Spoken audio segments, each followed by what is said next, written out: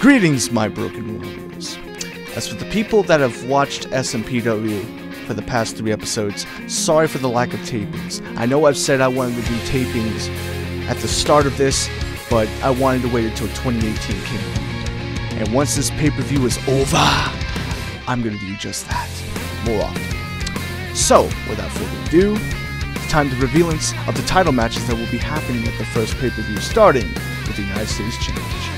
The people are Gerard Duffy, the King of Pop Style, Kyoto Maekawa, the glorious Mark Awesome, and the Super Dragon, Kane Daniels.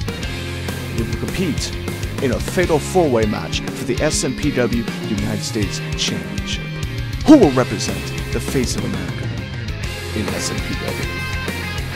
Time for some Divas Division. And the lovely ladies that will compete for the title are Sophia Velez, Bonnie Coles, Taya Fanny, the Irish last kicker, Becca Queen, Kimberly Nova,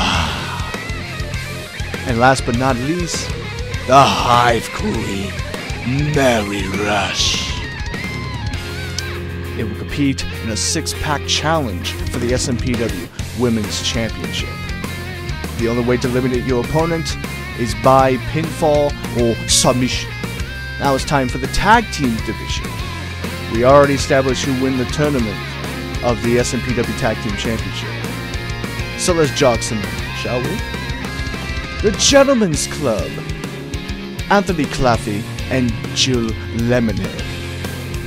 The Misfits, Jimmy Morris and O-Dog Seemingly. The Good Brothers, Magnum KA and Duke Ferguson.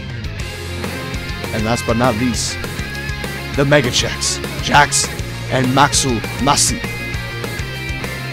Compete in a fatal four-way tag team ladder match for the SMPW World Tag Team Championships.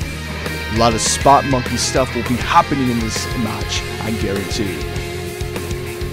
Now it's time for the main event, the hot potato of this rivalry between the SMPW World Heavyweight Championship. And those two competitors are indeed Owen Yannick, one on one against the new name, Bala Wicklow. And they will compete for the title in a two out of three falls inside a steel cage. We're gonna see who will be the real champion in this rivalry. So that's it for the title matches announced, handpicked by yours truly. I'd handpicked them by the, the matches, by their agilities, by their abilities, and so on and so forth.